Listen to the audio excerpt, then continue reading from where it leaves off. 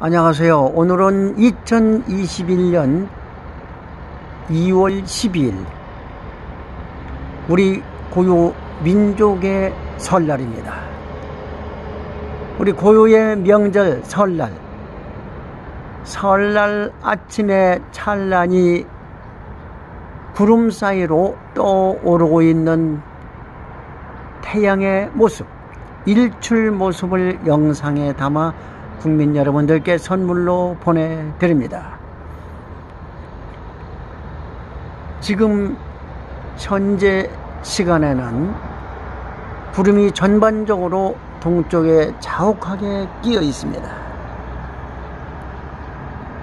500m 전방이 안 보일 정도로 구름이 짙게 깔린 가운데 찬란히 떠오르고 있는 태양.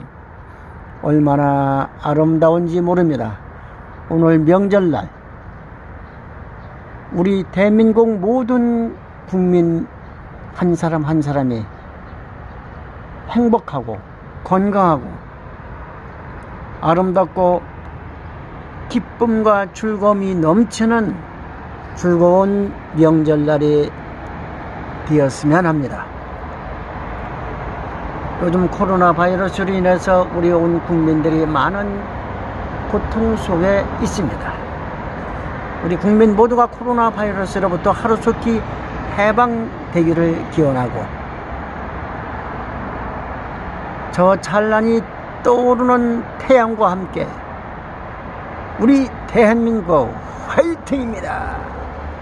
감사합니다. 인천에서 태국기 교육원 원장, 사단법인 태국기 선야운동 중앙회 회장, 대한가수협회 가수 시인 황 선기였습니다. 감사합니다.